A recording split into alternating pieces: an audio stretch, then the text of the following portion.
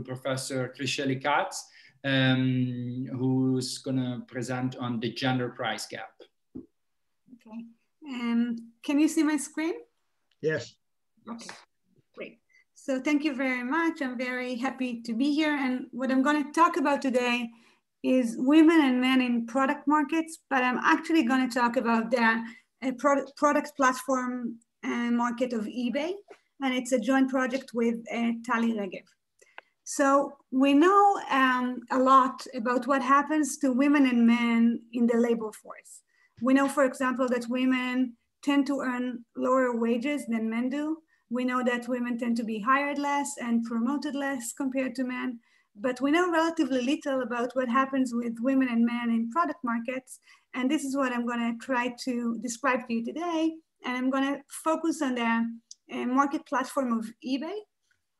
Uh, and I'm basically, basically going to try and answer two different questions. And let me just say that I'm going to use the gender price gap as an example for the ways in which um, uh, discrimination operates in product markets and specifically in online um, product markets.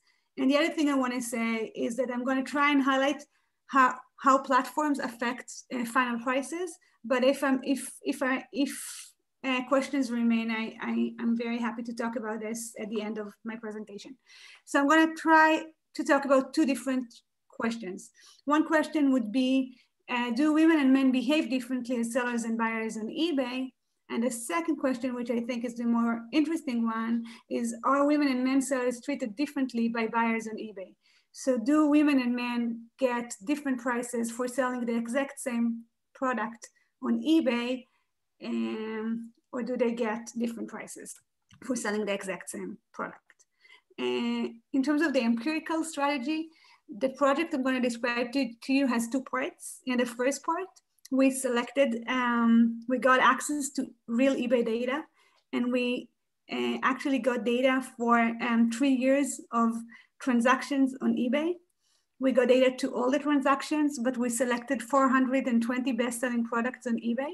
So eBay categorizes the products that are selling online and we made sure that we had enough products in each and every category that eBay has in the platform. And the idea was to make sure that we're not focusing merely on uh, seemingly feminine products or seemingly masculine products. We wanted to make sure that we have products that belong to each and every category that eBay has. And we selected 420 best-selling products. So that these are the products that are sold the most in the platform.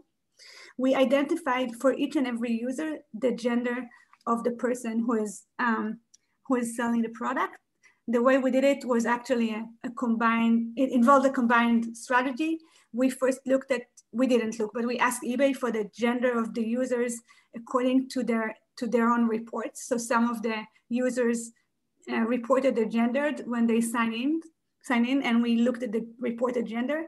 But we also looked or asked eBay to look at the first and last names, mostly first names of the people uh, who are members. And we used the census dictionary of names to identify the gender of users. Um, and we compared the reported gender to the gender that emerged from the first, first names of users. And we realized that both strategies were pretty accurate. And then we extracted data on the transactions themselves. So, so for each and every transaction on eBay, we know the type of product, the price of the product, the time of the auction, the condition of the product, some data about the seller. So is it a he or a she, the reputation of the seller, the experience, so the amount of time she has been a member on eBay, the state in which she lives, etc. And then we have some data about the buyers themselves. Let me just say that the study I'm going to describe to you now is a study that is focused on um, the US in the sense that all the sellers and buyers live in the US. And the other thing I want to mention is that the study focuses on private sellers on eBay. So on eBay, one option is to be, one option that members have is to open a shop or store on eBay. And then you negotiate as a store or you sell products as a store. We do not include them in the data because we wanted to, to look at the ways in which people interact with each other online and stores are a little different, so they're excluded from our data set. Okay, so as for the first question, do women and men behave differently as sellers and buyers on eBay? What you see here is actually our data set. And you see that we have data for the years 2009 and 2012 by gender. And let me just say that we have the data for the four, for all the auctions and for the 420 best selling products on eBay, but these are only auctions. And I'll say that we also had data for other um, platforms. eBay has a negotiation platform and also a, a, um, buy now platform in which people are just price takers. But what you see here is only the auctions. The reason I'm focusing on auctions for this presentation is because in auctions, people do not negotiate with one another. So once I decide to put my iPhone in on in an auction, uh, I'm not participating in the auction. Uh, so I'm, I'm only starting with a start price, but then I have to sell my item at the end of the auction to the person uh, who decides to pay uh, the most in the auction, which means that I'm not negoti negotiating. So any differences between men and women in negotiation patterns are irrelevant when this is an auction and not a negotiation. And let me also say that auctions in eBay are second price auctions, which means that the person um, who wins is the person with the highest bid, but she pays the second uh, highest bid. Uh, and this is this strategy is aimed uh, to make people a bid on their actual willingness to pay. So what do we see in the data? What we see here is just the data. So we see that on average, women and men receive different prices for the products they sell on eBay. On average, women receive about $101 and men about $136. And this is maybe perhaps interesting, but not, it's only a beginning in the sense that women and men may be selling very different products on eBay. And therefore this may be an indicator for the fact that men and women just tend to sell different products. You can also note that men and women have different, slightly different reputations on eBay. And on average, women are evaluated as slightly better at describing the products that are selling. So at the end of, trans uh, at the, end of the transaction, eBay would email the buyer and the seller and ask them to rate one another. And on average, people tend to rate women sellers as being um, better at describing the products that they're selling and also, um, and that's it. And I, I should also add that men and women differ in their starting prices in the sense that in auctions, women's starting prices tend to be lower compared to men compared to men so we see that the start price for women is about $40 and the start price for for men is about $47 but this can also be a result of the fact that men and women are selling different prices uh, on ebay. And one last thing i'll say is that women tend to have shorter experience on ebay in the sense that women in terms of so if you see the variable years in eBay, you'll see that men, that the men we capture in our data set tend to have about 9.8 years of experience on eBay, whereas the women have only nine years on average. Okay. So still with the descriptive statistics, let me just say that women constitute about one quarter of all private sellers on eBay. So we have more men in these um, auctions than women. Women have shorter experience but better reputation than men. Women prefer not to negate, negotiate. How do we know that? Well, you don't know that, but I know that because I looked at the data and I saw that when women choose platforms, they, they tend to choose negotiation, the option to negotiate less than men do. Women have a higher willingness to pay to insure against low auction outcomes. So eBay provides sellers an option to insure um, the final prices of the auction and women tend to be to do it slightly more than men do. I'll also say that both men and women tend not to do it, but on average, women tend to do it a little more. Women buyers prefer to buy products for women, from women, so this is a result of a regression model. And, and also women buyers pay higher prices for same products. So I'll talk about this a little more soon. So now to the second and more interesting question, are women and men sellers treated differently by buyers on eBay? So here, what I'm going to describe to you is the result of a regression analysis in which we're comparing not only men and women, but rather men and women who sell the exact same product on the exact same day, and the seller has the exact same reputation, and the length of the auction is the exact same length, and the state of the seller is the exact same state, etc. So we're, we're holding in our regression models all the, all the variables that we have constant. And let me remind you that the reason we're using auctions is, is because on auctions, when we have men and women selling products, they're not negotiating with potential buyers.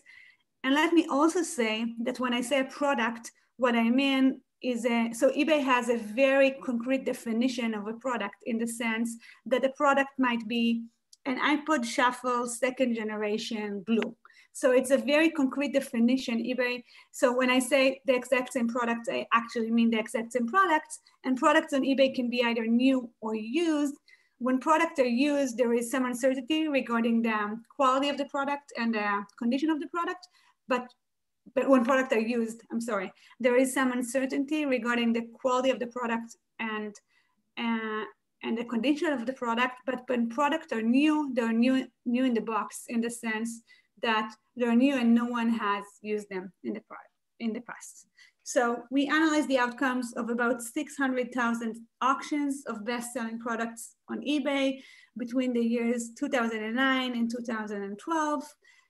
All the, all the sellers and buyers are Americans in our data set.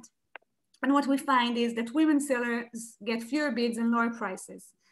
And women receive on average about 20% less for new products so when women and men sell the exact same product on eBay and everything else is held constant in the sense is that it that in the sense that it's the, the state is controlled for the length of the auction, the experience of the seller, the reputation of the seller, women receive about 20% less for the same identical new product.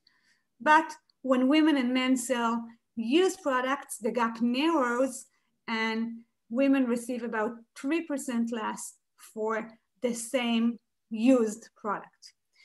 And women buyers also pay more when they're buying products compared to men. So when women and men buy the exact same product, women pay about 3% more compared to men. And I'll just remind you that these are all findings from auctions. So when women buy products on auctions and they're buying the exact same products and everything else is held constant, they pay about 3% more. Okay what you see here is just their regression models. And what I want to focus now on is just one product. And this is the this gift card or the Amazon gift card, but actually gift cards in general. And let me just say that gift cards are interesting because when I'm buying a gift card, I'm actually almost buying a money in the sense that I should know exactly what a product is worth to me.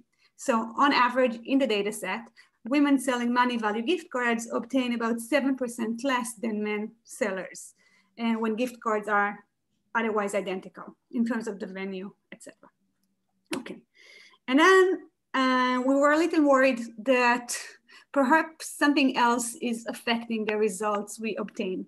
So we were worried that men and women were describing the um, products that they were selling on eBay differently in the sense that men and women were using different ads to describe the products that they were selling and these different ads were generating the effects we found. So what we did is we used um, a sentiment analysis software. The name of the software is uh, Semantria. And what it does is that it codes pieces of text by the, uh, by the sentiments that appear in the text.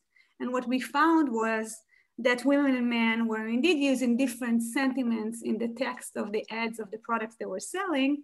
Women tended to use more um, positive sentiments and men tended to use more negative sentiments, but these differences in the tendency to use sentiments did not generate the results. So even when we control for the sentiments that appear in the ad uh, in our regression models, and we find that effect, the effects remain. So women are still receiving about 20% less for selling the exact same new product.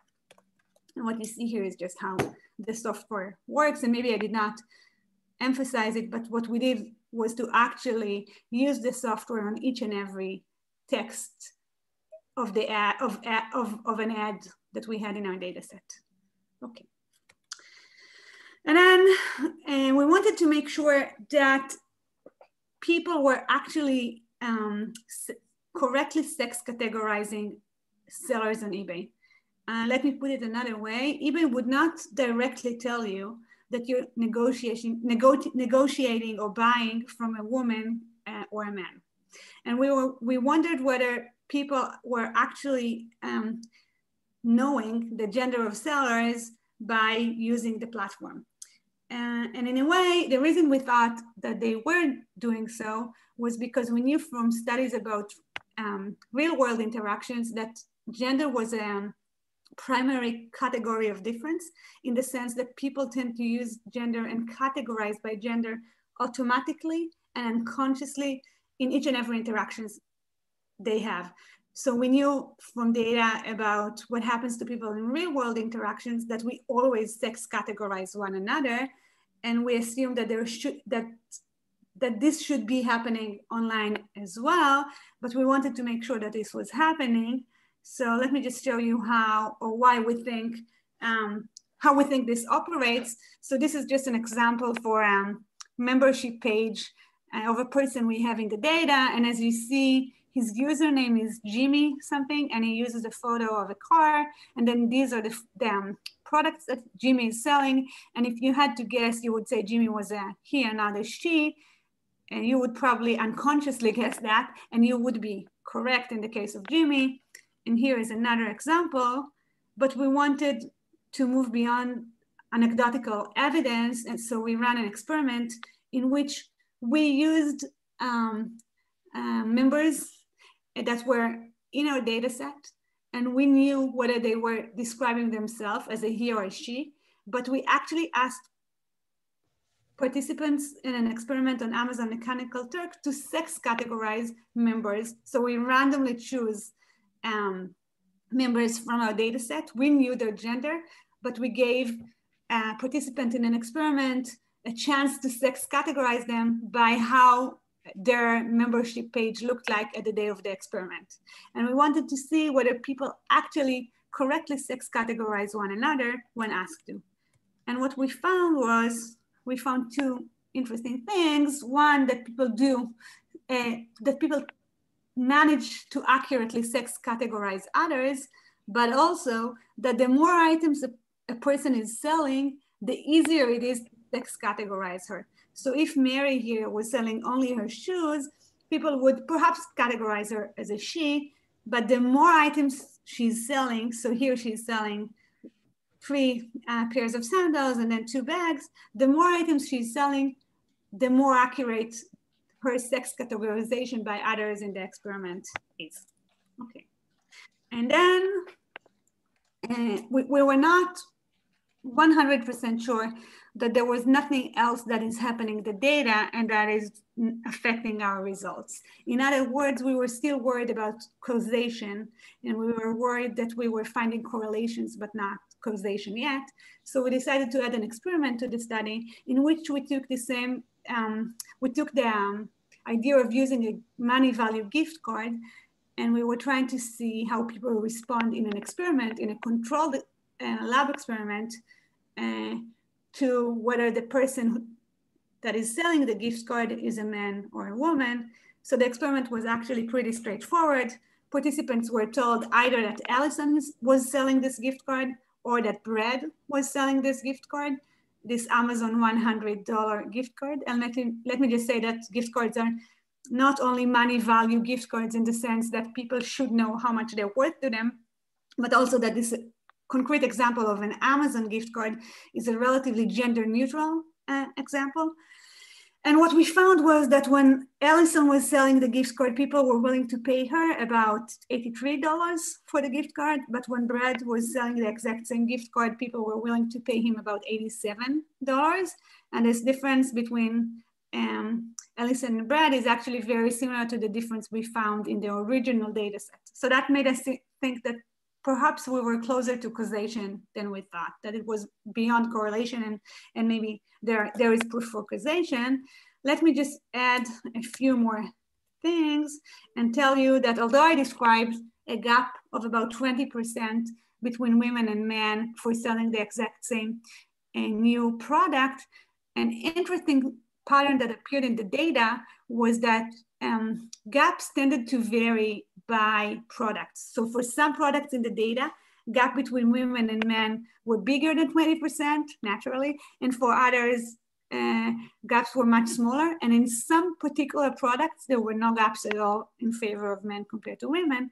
And we thought that maybe this is an interesting uh, beginning for a new study in the sense that maybe we can learn something about the mechanism if we try to figure out what it is in the products that generate differences. So in other words, we wanted to see why is it the case that for some products gaps are much bigger than for other products and what, what makes some products more susceptible to discrimination than others. And let me just say that what we did was to run a second study in which we asked participants in a study a long list of questions about the products that appear in our data set. So how feminine do you think the product is? And how certain are you about the price of the product? Um, what are the traits that are associated with the product owner?